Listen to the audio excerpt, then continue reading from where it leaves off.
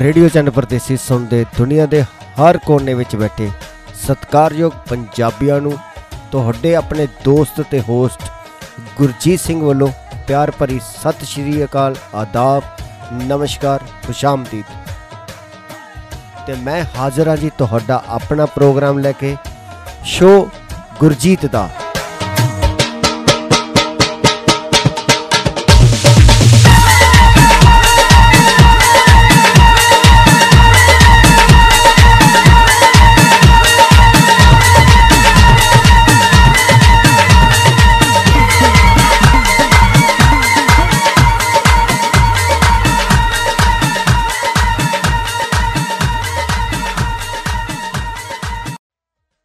ਅੱਜ ਇਸ ਪ੍ਰੋਗਰਾਮ ਦੇ ਵਿੱਚ ਜਿਸ ਵਿਸ਼ੇ ਦੇ ਉੱਤੇ ਅਸੀਂ ਗੱਲਬਾਤ ਕਰਾਂਗੇ, ਉਹ ਵਿਸ਼ਾ ਸਾਡੀ ਹੋਂਦ ਵਾਸਤੇ ਬਹੁਤ ਹੀ ਜ਼ਿਆਦਾ ਅਹਿਮੀਅਤ ਰੱਖਦਾ ਹੈ। ਉਸ ਦੇ ਉੱਤੇ ਗੱਲਬਾਤ ਕਰਨ ਤੋਂ ਪਹਿਲਾਂ ਅੱਜ ਜਿਹੜੀ ਡੇਟ 17/2/2021 ਹੈ, ਉਸ ਦੇ ਪਿਛੋਕੜ ਇਤਿਹਾਸ ਦੇ ਵਿੱਚ ਝਾਕੀ ਮਾਰ ਲਈਏ ਕਿ ਅੱਜ ਦੇ ਦਿਨ ਇਤਿਹਾਸ ਦੇ ਵਿੱਚ ਕੀ ਕੁਝ ਵਾਪਰਿਆ ਸੀ, ਉਸ ਦੇ ਵਿੱਚੋਂ ਕੁਝ ਯਾਦਾਂ ਆਪਾਂ ਤਾਜ਼ੀਆਂ ਕਰ ਲੈਣੇ ਆ ਸਾਰੇ ਸਰੋਤਿਆਂ ਦੇ ਨਾਲ। 1698 ਦੇ ਵਿੱਚ ਔਰੰਗਜ਼ੇਬ ਨੇ ਜੀਜੀ ਦੇ ਕਿਲੇ ਉੱਤੇ ਕਬਜ਼ਾ ਕੀਤਾ ਸੀ। 1867 ਦੇ ਵਿੱਚ ਜਹਾਜ਼ ਸੁਨੇਜ ਨੇ, ਨਹਿਰ ਦੇ ਵਿੱਚੋਂ ਕੱਢਿਆ ਗਿਆ। 1882 ਨੂੰ ਕ੍ਰਿਕਟ ਦਾ ਪਹਿਲਾ ਮੈਚ ਸਿਡਨੀ ਦੇ ਵਿੱਚ ਖੇਡਿਆ ਗਿਆ ਅਤੇ 2017 ਨੂੰ ਹਿੰਦੀ ਦੇ ਪ੍ਰਸਿੱਧ ਨਾਵਲਕਾਰ ਵੇਦ ਪ੍ਰਕਾਸ਼ ਸ਼ਰਮਾ ਜੀ ਇਸ ਦੁਨੀਆ ਨੂੰ ਅਲਵਿਦਾ ਆਖ ਗਏ ਸੀ। ਇਹ ਤਾਂ ਜੀ ਸੀ ਇਤਿਹਾਸ ਦੇ ਪਿਛੋਕੜ 'ਚ ਝਾਤੀ ਮਾਰੀ ਆਪਾਂ ਅੱਜ ਦੇ ਦਿਨ ਜਿਹੜੀ ਕਿ ਅੱਜ ਦੀ ਤਰੀਕ ਦੇ ਉੱਤੇ। ਤੇ ਹੁਣ ਗੱਲ ਕਰਦੇ ਹਾਂ ਜੀ ਆਪਣੇ ਪ੍ਰੋਗਰਾਮ ਦੀ।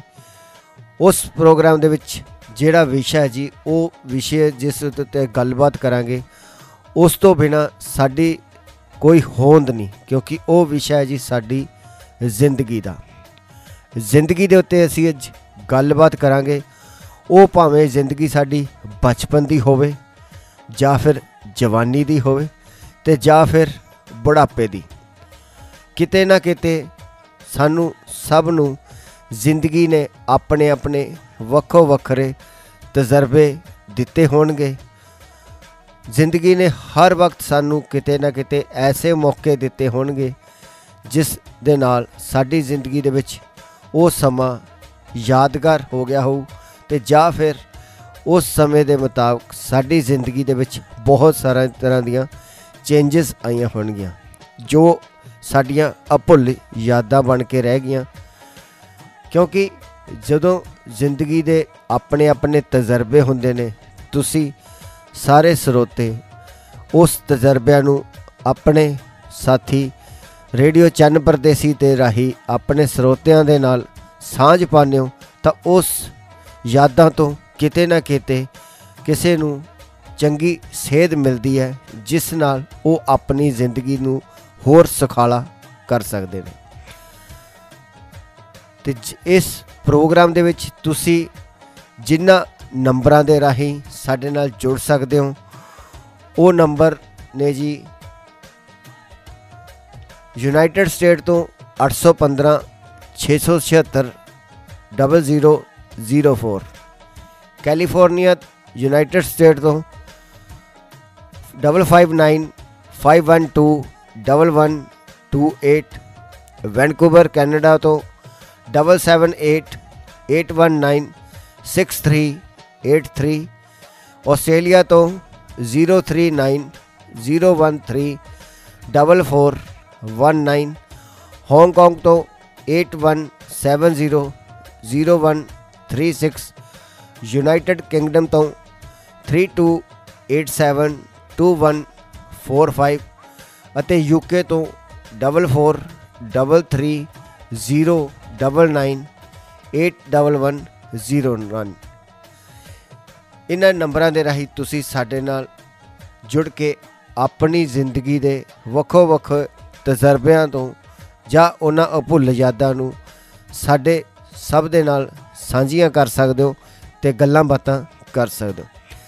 ਸਾਡੀ ਕੋਸ਼ਿਸ਼ ਹੁੰਦੀ ਹੈ ਕਿ ਮੈਂ ਜਦੋਂ ਵੀ ਇਸ ਪ੍ਰੋਗਰਾਮ ਦੇ ਉੱਤੇ ਕਿਸੇ ਵੀ ਵਿਸ਼ੇ ਦੇ ਉੱਤੇ ਗੱਲਬਾਤ ਕਰਾਂ ਤਾਂ ਉਸ ਵਿਸ਼ੇ ਦੇ ਉੱਤੇ ਆਧਾਰਿਤ ਜਿਹੜੇ ਵੀ ਗੀਤ ਹੁੰਦੇ ਨੇ, ਉਸ ਵਿਸ਼ੇ ਦੇ ਸੰਬੰਧਿਤ ਹੀ ਚਲਾਏ ਜਾਣ। ਤਾਂ ਜੋ ਜਿਹੜੀ ਕਈ ਵਾਰ ਗੱਲਾਂ ਬਾਤਾਂ ਅਸੀਂ ਸਮੇਂ ਦੇ ਮੁਤਾਬਕ ਨਹੀਂ ਕਰ ਸਕਦੇ ਜਾਂ ਸਮੇਂ ਦੀ ਘਾਟ ਮੁਤਾਬਕ ਨਹੀਂ ਕਰ ਸਕਦੇ, ਉਹ ਕੁਝ ਗੱਲਾਂ ਐਸੀਆਂ ਹੁੰਦੀਆਂ ਨੇ ਜੋ ਉਸ ਗੀਤ ਦੇ ਵਿੱਚ, ਰਾਈਟਰਾਂ ਵੱਲੋਂ ਬਹੁਤ ਹੀ ਡੂੰਘਾਈ ਦੇ ਵਿੱਚ ਲਿਖੀਆਂ ਹੁੰਦੀਆਂ ਨੇ ਤੇ ਉਹਨਾਂ ਗੀਤਾਂ ਦੇ ਰਾਹੀਂ ਅਸੀਂ ਆਪਣੇ ਯਾਦਾਂ ਨੂੰ ਹੋਰ ਤਾਜ਼ਾ ਕਰ ਸਕਦੇ ਹਾਂ।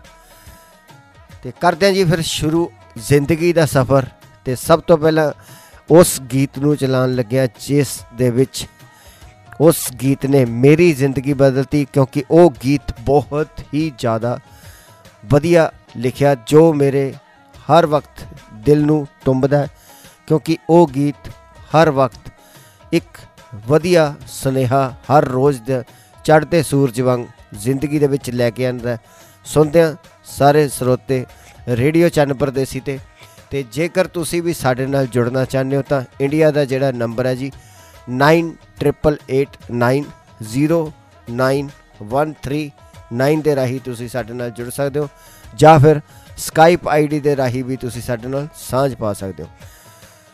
ਤੇ ਅੱਜ ਜੀ ਫਿਰ ਕਰਦੇ ਹਾਂ ਜ਼ਿੰਦਗੀ ਦੀਆਂ ਗੱਲਾਂ ਬਾਤਾਂ ਰੇਡੀਓ ਚੰਨ ਪਰਦੇਸੀ ਤੇ ਸੁਣਦੇ ਹਾਂ ਉਸ ਤੋਂ ਪਹਿਲਾਂ ਬਿਲਕੁਲ ਜੀ, ਹਰ ਵਕਤ, ਹਰ ਰੋਜ਼, ਹਰ ਸੂਰਜ ਚੜ੍ਹਦੇ ਸਾਰ ਸਾਨੂੰ ਜ਼ਿੰਦਗੀ ਦਾ ਸਵਾਗਤ ਇੱਕ ਵਧੀਆ ਤਰੀਕੇ ਨਾਲ ਕਰਨਾ ਚਾਹੀਦਾ ਕਿਉਂਕਿ ਜ਼ਿੰਦਗੀ ਇੱਕ ਗੇਮ ਦੀ ਤਰ੍ਹਾਂ ਅਜੀਬ ਤਰ੍ਹਾਂ ਦੀ ਗੇਮ, ਜਿਸ ਵਿੱਚ ਇਨਸਾਨ ਨੇ ਬੈਟ ਫੜਿਆ ਹੋਇਆ ਤੇ ਉਹ ਕਰੀਜ਼ ਦੇ ਉੱਤੇ ਖੜਾ ਕੋਈ ਵੀ ਵਿਕਟ ਨਹੀਂ ਤੇ ਕੋਈ ਵੀ ਵਿਕਟ ਕੀਪਰ। ਨਾ ਕੋਈ ਫੀਲਡਰ ਹੈ ਨਾ ਕੋਈ ਥਰਡ ਅੰਪਾਇਰ ਤੇ ਨਾ ਹੀ ਕੋਈ ਸਰੋਤੇ। ਪਰ ਕੁਦਰਤ ਰੁਕ ਰੁਕ ਕੇ ਗੇਂਦਾਂ ਸੁੱਟ ਰਹੀ ਹੈ ਤੇ ਉਹ ਵੱਖੋ ਵੱਖਰੇ ਮੌਕਿਆਂ ਦੇ ਉੱਤੇ, ਵੱਖੋ ਵੱਖਰੇ ਰੂਪ ਦੇ ਵਿੱਚ ਸਾਨੂੰ ਗੇਂਦ ਸੁੱਟ ਰਹੀ ਹੈ। ਪਰ ਇਹ ਇਨਸਾਨ ਤੇ ਨਿਰਭਰ ਨਿਰਭਰ ਕਰਦਾ ਹੈ ਕਿ ਉਹ ਉਸ ਗੇਂਦ ਨੂੰ ਕਿੰਨੀ ਰੀਝ ਨਾਲ ਉਡੀਕਦਾ ਤੇ ਜਾਂ ਫਿਰ ਉਸ ਗੇਂਦ ਨੂੰ ਕਿੰਨੇ ਉਤਸ਼ਾਹ ਨਾਲ ਬੈਟ ਦੇ ਉੱਤੇ ਘਮਾਉਂਦਾ ਜਿਸ ਦੇ ਰਾਹੀਂ ਉਹ ਚੌਕਾ ਜਾਂ ਛਿੱਕਾ ਮਾਰਦਾ ਜਾਂ ਤਾਂ ਉਹ ਬੇਵਸ ਹੋ ਕੇ ਬੋਲ ਨੂੰ ਆਪਣੇ ਮੂੰਹ ਤੇ ਬਾਉਂਸਰ ਮੰਗੋ ਖਾ ਕੇ ਡਿੱਗ ਕੇ ਉਹ ਬੇਹੋਸ਼ ਹੋ ਜਾਂਦਾ ਪਰ ਕੁਦਰਤ ਜਿਹੜੀ ਹੈ, ਉਹ ਹਰ ਵਕਤ ਸਾਨੂੰ ਜ਼ਿੰਦਗੀ ਦੇ ਵੱਖ-ਵੱਖ ਪੜਾਵਾਂ ਤੇ ਵੱਖ-ਵੱਖ ਮੌਕਿਆਂ ਤੇ ਗੈਂਦ ਸੁੱਟਦੀ ਜਾ ਰਹੀ ਹੈ। ਤੇ ਥੋੜੇ-ਥੋੜੇ ਵਕਫੇ ਬਾਅਦ ਉਸ ਗੈਂਦ ਨੂੰ ਹਿੱਟ ਕਰਦੇ ਰਿਹਾ ਕਰੋ, ਕਿਉਂਕਿ ਗੈਂਦ ਹਰ ਵਕਤ ਮੌਕੇ ਦੇ ਉੱਤੇ ਆਈ ਜਾਣੀ ਹੈ। ਅਸੀਂ ਜੇਕਰ ਚੌਕਾ ਛਿੱਕਾ ਨਹੀਂ ਲਗਾ ਸਕਦੇ, ਪਰ ਅਸੀਂ ਇੱਕ ਇੱਕ ਰਨ ਲੈ ਕੇ ਤਾਂ ਖੇਡ ਸਕਦੇ ਹਾਂ ਨਾ।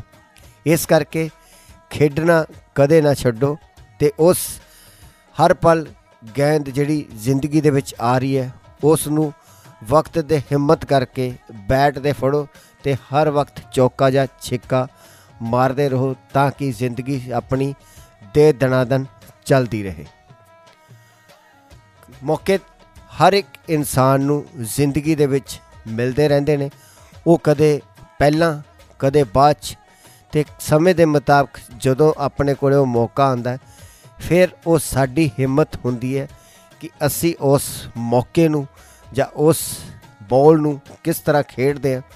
ਕਿਉਂਕਿ ਜ਼ਿੰਦਗੀ ਦੇ ਵਿੱਚ ਖੇਡਾਂ ਸਾਡੀਆਂ ਬਚਪਨ ਤੋਂ ਹੀ ਸ਼ੁਰੂ ਹੋ ਜਾਂਦੀਆਂ ਨੇ ਤੇ ਬਚਪਨ ਦੇ ਜਦੋਂ ਵਿੱਚ ਅਸੀਂ ਆਪਣੀ ਜ਼ਿੰਦਗੀ ਮਨਾਉਂਦੇ ਸੀ ਜਾਂ ਜ਼ਿੰਦਗੀ ਖੇਡਦੇ ਸੀ ਜਾਂ ਫਿਰ ਬਚਪਨ ਦੀ ਜ਼ਿੰਦਗੀ ਸੀ, ਉਹਦੇ ਉੱਤੇ ਆਪਾਂ ਗੱਲਬਾਤ ਕਰਾਂਗੇ।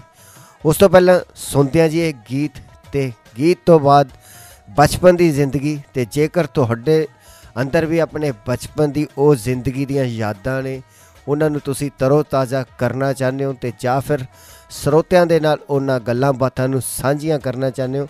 ਉਹ ਕਿਸੇ ਵੀ ਤਰ੍ਹਾਂ ਦੀ ਹੋ ਸਕਦੀ ਹੈ। ਗੱਲਬਾਤ ਕੀ ਚਾਹੇ ਤੁਹਾਨੂੰ ਕਿਸੇ ਮਾਸਟਰ ਜਾਂ ਭੈਣ ਜੀ ਦਾ ਡਰ ਲੱਗਦਾ ਹੋਵੇ ਤੇ ਜਾਂ ਫਿਰ ਬਸੰਤ ਦੇ ਪਤੰਗ ਚੜਾਣੇ ਹੋਣ ਤੇ ਜਾਂ ਫਿਰ ਉਹ ਗੋਲੀਆਂ ਖੇਡਣੀਆਂ ਹੋਣ, ਜਿਨ੍ਹਾਂ ਨੂੰ ਅਸੀਂ ਅਕਸਰ ਹੀ ਕਲੀ ਜੋਟਾ ਖੇਡ ਖੇਡ ਕੇ ਸਮਾਂ ਬਿਤਾਉਂਦੇ ਸੀ ਤੇ ਉਹ ਜ਼ਿੰਦਗੀ ਦੀ ਕਿਸੇ ਵੀ ਗੱਲਬਾਤ ਨੂੰ ਤੁਸੀਂ ਸਾਂਝੀ ਕਰ ਸਕਦੇ ਹੋ। ਰੇਡੀਓ ਚੰਨ ਪਰਦੇਸੀ ਦੇ ਮਾਧਿਅਮ ਰਾਹੀਂ 98890913 ਤੇ ਤੇ ਹੁਣ ਕਰਦੇ ਹਾਂ ਜੀ ਆਪਣੀ ਜ਼ਿੰਦਗੀ ਦਾ ਉਸ ਗੀਤ ਦੇ ਰਾਹੀਂ ਸਵਾਗਤ। ਕਿਉਂਕਿ ਸਾਡੀ ਜ਼ਿੰਦਗੀ ਹਰ ਵਕਤ ਸਾਨੂੰ ਕੁਝ ਨਾ ਕੁਝ ਸਿਖਾਉਂਦੀ ਹੈ ਤੇ ਸਾਨੂੰ ਆਪਣੀ ਜ਼ਿੰਦਗੀ ਦਾ ਹਰ ਵਕਤ ਜਿਹੜਾ ਸਵਾਗਤ ਹੈ, ਉਹ ਚੜ੍ਹਦੀ ਕਲਾ ਦੇ ਨਾਲ ਕਰਨਾ ਬਿਲਕੁਲ ਜੀ, ਜ਼ਿੰਦਗੀ ਬਹੁਤ ਹੀ ਕਿਸਮਤ ਨਾਲ ਮਿਲਦੀ ਹੈ ਤੇ ਜਦੋਂ ਮਿਲਦੀ ਹੈ ਫਿਰ ਉਸ ਜ਼ਿੰਦਗੀ ਨੂੰ ਹਰ ਵਕਤ ਇੱਕ ਚਿਲ ਜ਼ਿੰਦਗੀ ਦੇ ਵਾਂਗੂ ਸਾਨੂੰ ਬਤੀਤ ਕਰਨਾ ਚਾਹੀਦਾ ਹਰ ਇੱਕ ਪਲ ਨੂੰ ਬੜੇ ਹੀ ਖੁਸ਼ੀ ਤੇ ਚਾਵਾਂ ਦੇ ਨਾਲ ਹੰਡਾਉਣਾ ਚਾਹੀਦਾ ਤੇ ਕਿਉਂਕਿ ਜ਼ਿੰਦਗੀ ਨਾਮ ਹੀ ਐਸਾ ਹੈ ਜਿਸ ਦੇ ਵਿੱਚ ਹਰ ਵਕਤ ਉਤਾਰ ਚੜਾ ਦੁੱਖ ਸੁੱਖ ਜੁੜੇ ਹੋਏ ਨੇ। ਇਹਨਾਂ ਨੂੰ ਹੀ ਜ਼ਿੰਦਗੀ ਕਹਿੰਦੇ ਨੇ। ਤੇ ਜਦੋਂ ਬਚਪਨ ਦੀ ਜ਼ਿੰਦਗੀ ਦੀ ਗੱਲ ਕੀਤੀ ਹੈ, ਤਾਂ ਫਿਰ ਬਚਪਨ ਦੇ ਵਿੱਚ ਤਾਂ ਕੋਈ ਦੁੱਖ ਤਕਲੀਫ ਹੁੰਦੀ ਹੋਈ ਨਹੀਂ ਸੀ, ਕਿਉਂਕਿ ਹਰ ਵਕਤ ਅਸੀਂ ਕਿਤੇ ਨਾ ਕਿਤੇ ਜ਼ਿੰਦਗੀ ਨੂੰ ਵੀ ਪਿੱਛੇ ਛੱਡ ਜਾਂਦੇ ਸੀ, ਵਕਤ ਦੀ ਰਫ਼ਤਾਰ ਦੇ ਵਿੱਚ। ਬਚਪਨ ਦੇ ਵਿੱਚ ਜਦੋਂ ਅਸੀਂ ਖੇਡਦੇ ਖੇ ਸੀ, ਤਾਂ ਸਾਡੇ ਕੋਲੇ ਜ਼ਿੰਦਗੀ ਨੇ ਬਹੁਤ ਕੁਝ ਦਿੱਤਾ। ਸਾਡੇ ਕੋਲੇ ਉਸ ਸਮੇਂ ਖੇਡਾਂ ਹੀ ਇੰਨੀਆਂ ਜ਼ਿਆਦਾ ਸੀ ਜੇਕਰ ਮੈਂ ਖੇਡਾਂ ਦੇ ਨਾਮ ਲਵਾਂ ਤਾਂ ਉਹ ਘੱਟ ਰਹਿ ਜਾਣਗੇ। ਜਿਵੇਂ ਕਿ ਲੁਕਣ ਮਿੱਚੀ ਲੰਗੜਾ ਸ਼ੇਰ, ਬਾਂਦਰ ਕਿੱਲਾ, ਊਚ ਨੀਚ ਕਾ ਪਾਪੜਾ ਖੋ ਖੋ ਐਸੇ ਹੋਰ ਕਈ ਖੇਡਾਂ ਸੀਗੀਆਂ ਜਿਹੜੀਆਂ ਅਸੀਂ ਖੇਡਦੇ ਸੀਗੇ। ਤੇ ਕੁੜੀਆਂ ਜਿਹੜੀਆਂ ਸੀ ਜੀ, ਉਹ ਅਕਸਰ ਗੀਟੇ, ਪੀਚੋ, ਸਟੈਪੂ ਇਹਨਾਂ ਨੂੰ ਖੇਡਦੇ ਸੀ। ਕਿਉਂਕਿ ਉਸ ਸਮੇਂ ਸਾਡੇ ਕੋਲੇ ਸਮਾਂ ਵੀ ਹੁੰਦਾ ਸੀ ਤੇ ਉਸ ਜ਼ਿੰਦਗੀ ਦੇ ਵਿੱਚ ਜਦੋਂ ਅਸੀਂ ਆਪਣੇ ਉਸ ਸਮੇਂ ਨੂੰ ਬਤੀਤ ਕਰਦੇ ਸੀ ਤੇ ਉਸ ਸਮੇਂ ਦੇ ਵਿੱਚ ਸਾਡੇ ਯਾਰ ਦੋਸਤ ਜਾਂ ਸਾਡੇ ਸਕੇ ਸੰਬੰਧੀ ਹਰ ਵਕਤ ਸਾਡੇ ਨਾਲ ਹੁੰਦੇ ਸੀ, ਜੋ ਕਿ ਅੱਜ ਕੱਲ ਨਹੀਂ ਹੈ। ਅੱਜ ਕੱਲ ਦੇ ਬੱਚਿਆਂ ਕੋਲੇ ਸਮਾਂ ਸਿਰਫ ਖੇਡਾਂ ਦਾ ਜਿਹੜਾ ਹੈਗਾ, ਉਹ ਉਹਨਾਂ ਕੋਲੇ, ਉਹਨਾਂ ਦੇ ਹੱਥਾਂ ਦੇ ਵਿੱਚ ਹੀ ਹੈ। ਉਹ ਸਿਰਫ WhatsApp ਦੇ ਉੱਤੇ ਚੈਟ ਕਰਨ ਵਾਸਤੇ ਉਂਗਲਾਂ ਨੂੰ ਯੂਜ਼ ਕਰਦੇ ਨੇ ਤੇ ਜਾਂ ਫਿਰ ਮੋਬਾਈਲ ਦੇ ਉੱਤੇ ਜਾਂ ਕੰਪਿਊਟਰ ਦੇ ਉੱਤੇ ਗੇਮਾਂ ਖੇਡਣ ਵਾਸਤੇ। ਕਿਉਂਕਿ ਉਹ ਸਿਰਫ ਇੱਕ ਕਮਰੇ ਦੇ ਅੰਦਰ ਹੀ ਗੇਮਾਂ ਖੇਡਦੇ ਨੇ। ਇਸ ਕਰਕੇ ਉਹਨਾਂ ਨੂੰ ਜਿਹੜੀ ਕੁਦਰਤੀ ਹਵਾ ਜਾਂ ਕੁਦਰਤੀ ਪੌਣ ਪਾਣੀ ਹੈ ਉਹ ਨਹੀਂ ਪ੍ਰੋਪਰ ਮਿਲਦਾ। ਫਿਰ ਕਿਤੇ ਨਾ ਕਿਤੇ ਉਹ ਅੰਦਰ ਸਾਇਲੈਂਟ ਮੂਡ ਦੇ ਵਿੱਚ ਹੀ ਬੈਠੇ ਰਹਿੰਦੇ ਨੇ। ਪਰ ਜਦੋਂ ਅਸੀਂ ਹੁੰਦੇ ਸੀ ਤੇ ਅਸੀਂ ਤਾਂ ਫਿਰ ਬਾਹਰ ਗਲੀਆਂ ਦੇ ਵਿੱਚ ਕਈ ਵਾਰੀ ਤਾਂ ਬੰਟੇ ਜਿਹੜੇ ਖੇਡਦੇ ਤਾਂ ਉਹ ਨਾਲੀਆਂ ਦੇ ਵਿੱਚ ਵੀ ਹੱਥ ਮਾਰੇ ਹੁੰਦੇ ਸੀਗੇ ਤੇ ਜਿਨ੍ਹਾਂ ਦੇ ਵਿੱਚ ਉਹ ਬੰਟੇ ਸੀ ਫਟਕ ਦੇਣੇ ਬਾਹ ਪਾ ਕੇ ਕੱਢ ਲੈਂਦੇ ਸੀ। ਉਸ ਜ਼ਿੰਦਗੀ ਨੂੰ ਅਸੀਂ ਕਦੇ ਵੀ ਨਹੀਂ ਭੁੱਲ ਸਕਦੇ। ਉਦੋਂ ਸਾਡੇ ਜਿਹੜੇ ਖਾਣ ਪੀਣ ਦਾ ਸਿਸਟਮ ਸੀ, ਉਹ ਵੀ ਬਹੁਤ ਜ਼ਿਆਦਾ ਸਟਰੋਂਗ ਹੁੰਦਾ ਸੀ। ਕਿਸੇ ਨਾ ਕਿਸੇ ਬਹਾਨੇ ਸਾਨੂੰ ਐਸੀਆਂ ਚੀਜ਼ਾਂ ਜਿਹੜੀਆਂ ਦਿੱਤੀਆਂ ਜਾਂਦੀਆਂ ਸੀ ਉਹ ਜਦੋਂ ਅਸੀਂ ਖਾਂਦੇ ਸੀ ਤਾਂ ਸਾਡੀ ਜ਼ਿੰਦਗੀ ਦੇ ਵਿੱਚ ਜਾਂ ਸਾਡੇ ਸਰੀਰ ਵਾਸਤੇ ਬਹੁਤ ਹੀ ਜ਼ਿਆਦਾ એનર્ਜੀ ਦਿੰਦੇ ਸੀ। ਜਿਵੇਂ ਕਿ ਮਰੁੰਡਾ ਤੇ ਭੂਤ ਪਿੰਨੇ, ਉਹ ਗੁੜ ਤੋਂ ਬਣੇ ਹੁੰਦੇ ਸੀ ਤੇ ਗੁੜ ਸਾਡੀ ਸਿਹਤ ਵਾਸਤੇ ਬਹੁਤ ਹੀ ਜ਼ਿਆਦਾ ਫਾਇਦੇਮੰਦ ਹੈ। ਬਚਪਨ ਦੇ ਵਿੱਚ ਜਦੋਂ ਅਸੀਂ ਸਕੂਲ 'ਚ ਪੜ੍ਹਦੇ ਸੀ ਤਾਂ ਇੱਕ ਉੱਥੇ ਚੂਰਨ ਵਾਲੀਆਂ ਪਾਈਪਾਂ ਮਿਲਦੀਆਂ ਹੁੰਦੀਆਂ ਸੀ, ਜਿਸ ਨੂੰ ਹਰ ਇੱਕ ਇਨਸਾਨ ਨੇ ਬੜੇ ਚਾਹ ਦੇ ਨਾਲ ਖਾਇਆ ਹੋਊਗਾ। ਤੇ ਇੱਕ ਹੁੰਦਾ ਸੀ ਕਾਲੀਆਂ ਕਾਲੀਆਂ ਜਾਂ ਚੂਰਨ ਵਾਲੀਆਂ ਗੋਲੀਆਂ। ਉਹ ਗੋਲੀਆਂ ਦੇ ਵਿੱਚ ਜੀ ਹਿੰਗ ਪਾਈ ਹੁੰਦੀ ਸੀ ਤੇ ਕਿਉਂਕਿ ਹਿੰਗ ਵੀ ਸਾਡੇ ਸਰੀਰ ਨੂੰ ਬਹੁਤ ਹੀ ਜ਼ਿਆਦਾ ਫਾਇਦਾ ਕਰਦੀ ਆ। ਪਰ ਅੱਜ ਕੱਲ ਦੀ ਗੱਲ ਕਰੀਏ ਤਾਂ ਅੱਜ ਕੱਲ ਦੇ ਬੱਚਿਆਂ ਦੀ, ਖੁਰਾਕਾਂ ਦੀ ਗੱਲ ਕਰੀਏ ਤਾਂ ਉਹ ਬਿਲਕੁਲ ਹੀ ਇਸ ਤੋਂ ਦੂਰ ਨੇ। ਉਹਨਾਂ ਵਾਸਤੇ ਇਹ ਚੀਜ਼ਾਂ ਉਹਨਾਂ ਨੂੰ ਪਸੰਦ ਨਹੀਂ ਆਉਂਦੀਆਂ। ਜੇਕਰ ਮਾਪੇ ਵੀ ਉਹਨਾਂ ਨੂੰ ਖਵਾਉਣ ਵਾਸਤੇ ਦਿੰਦੇ ਨੇ, ਪਰ ਉਹ ਬੱਚੇ ਉਹਨਾਂ ਨੂੰ ਖਾਂਦੇ ਨਹੀਂ। ਕਿਉਂਕਿ ਉਹਨਾਂ ਵਾਸਤੇ ਪੀਜ਼ਾ, ਪਾਸਤਾ, ਮੈਗੀ ਇਹ ਚੀਜ਼ਾਂ ਜਾਂ ਫਾਸਟ ਫੂਡ ਦੇ ਉੱਤੇ ਬਹੁਤ ਜ਼ਿਆਦਾ ਹੈਵੀ ਹੋ ਚੁੱਕਿਆ ਉਹਨਾਂ ਦੇ ਉੱਤੇ, ਜਿਸ ਤੋਂ ਉਹਨਾਂ ਦੇ ਸਰੀਰ ਦੇ ਵਿੱਚ ਫੈਟ ਜ਼ਿਆਦਾ ਵੱਧਦੀ ਜਾ ਰਹੀ ਹੈ। ਕਿਉਂਕਿ ਫੈਟ ਐਸੀ ਚੀਜ਼ ਹੈ, ਜਦੋਂ ਉਹ ਆਪਣੇ ਸਰੀਰ ਦੇ ਵਿੱਚ ਆ ਜਾਂਦੀ ਹੈ, ਫਿਰ ਉਹ ਫੈਟ ਸਾਨੂੰ ਕਿਸੇ ਪਾਸਿਓਂ ਵੀ ਉਤਾਰਨੀ ਬਹੁਤ ਮੁਸ਼ਕਲ ਹੋ ਜਾਂਦੀ ਹੈ।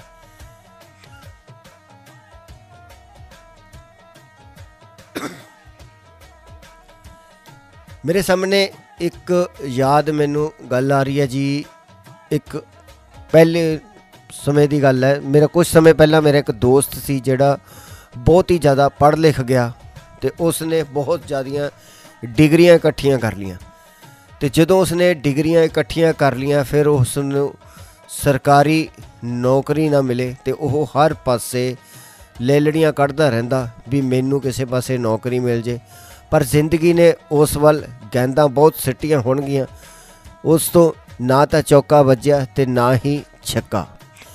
ਭਾਵੇਂ ਉਸਨੇ ਬੈਟ ਥੋੜਾ ਜਿਹਾ ਚੱਕਿਆ, ਪਰ ਉਸ ਬੈਟ ਨੂੰ ਉਹ ਕੰਧ ਦੇ ਨਾਲ ਹੀ ਮਾਰੀ ਗਿਆ। ਭਾਵ ਕਿ ਉਸ ਨੇ ਆਪਣਾ ਬਹੁਤ ਜ਼ਿਆਦਾ ਸਮਾਂ ਉਹ ਡਿਗਰੀਆਂ ਨੂੰ ਇਕੱਠਾ ਕਰਨ ਤੇ ਲਗਾਤਾ। ਉਸ ਸਮੇਂ ਦੇ ਵਿੱਚ ਉਸ ਦਾ ਉਹ ਸਮਾਂ ਨਿਕਲ ਗਿਆ। ਜਦੋਂ ਉਹ ਨੌਕਰੀ ਦੀ ਉਮਰ ਹੁੰਦੀ ਹੈ, ਉਹ ਉਸ ਤੋਂ ਪੁੰਜ ਗਿਆ। ਤੇ ਉਸੇ ਪਾਸੇ ਇੱਕ ਹੋਰ ਲੜਕਾ ਸੀ, ਜੋ ਪੜਿਆ ਲਿਖਿਆ ਤਾਂ ਬਹੁਤ ਸੀ, ਪਰ ਉਸ ਨੇ ਨੌਕਰੀ ਨੂੰ ਪਾਉਣ ਦੀ ਕੋਸ਼ਿਸ਼ ਨਹੀਂ ਕੀਤੀ, ਜਾਂ ਕਿ ਕਹੀਏ, ਸਰਕਾਰੀ ਨੌਕਰੀ ਦੀ ਭਾਲ ਨਹੀਂ ਕੀਤੀ। ਤਾਂ ਉਸ ਨੇ ਆਪਣੇ ਉਸੇ ਸਮੇਂ ਨੂੰ ਇੱਕ 버ਗਰਾਂ ਦੀ ਰੇੜੀ ਲਗਾ ਲਈ। ਜਦੋਂ ਉਸ ਨੇ 버ਗਰਾਂ ਦੀ ਰੇੜੀ ਲਗਾ ਲਈ, ਤਾਂ ਕੁਝ ਸਮੇਂ ਬਾਅਦ ਕੁਦਰਤ ਉਹਦੇ ਤੇ ਮਿਹਰਬਾਨ ਹੋਈ। ਉਸ ਨੂੰ ਫਿਰ ਕੁਦਰਤ ਵੱਲੋਂ ਇੱਕ ਬੋਲ ਸਿੱਟੀ ਗਈ, ਪਰ ਉਸ ਨੇ ਉਸ ਬੋਲ ਨੂੰ ਸਮਝਿਆ ਤੇ ਉਸ ਦੇ ਉੱਤੇ ਚੌਕਾ ਤੇ ਛੱਕਾ ਲਗਾ ਦਿੱਤਾ। ਭਾਵ ਕਿ ਉਸ ਨੇ ਉਸ 버ਗਰਾਂ ਦੀ ਰੇੜੀ ਜਦੋਂ ਲਗਾਈ ਸੀ, ਕੁਝ ਸਮੇਂ ਬਾਅਦ ਉਸ ਨੂੰ ਨੌਕਰੀ ਦੀ ਭਾਲ ਤਾਂ ਕਰਨੀ ਛੱਡ ਦਿੱਤੀ ਸੀ। ਉਲਟਾ ਉਸ ਨੇ ਉਸ ਰੇੜੀ ਦੇ ਉੱਤੇ ਦੋ ਤਿੰਨ ਮੁੰਡਿਆਂ ਨੂੰ ਰੋਜ਼ਗਾਰ ਜ਼ਰੂਰ ਦੇ ਦਿੱਤਾ ਸੀ। ਤੇ ਉਸ ਤੋਂ ਬਾਅਦ ਟਾਈਮ ਟੂ ਟਾਈਮ ਕਰਕੇ ਉਸ ਨੇ ਉਸ ਰੇੜੀ ਤੋਂ ਇੱਕ ਦੁਕਾਨ ਖਰੀਦੀ। ਦੁਕਾਨ ਤੋਂ ਇੱਕ ਸ਼ੋਰੂਮ ਬਣਾ ਲਿਆ। ਭਾਵ ਕਿ ਹਰ ਵਕਤ ਨੂੰ ਕਿਤੇ ਨਾ ਕਿਤੇ ਆਪਣੇ ਜ਼ਿੰਦਗੀ ਦੇ ਵਿੱਚ ਉਸ ਸਮੇਂ ਨੂੰ ਹਰ ਵਕਤ ਕਦਰ ਕਰਨੀ ਚਾਹੀਦੀ ਹੈ।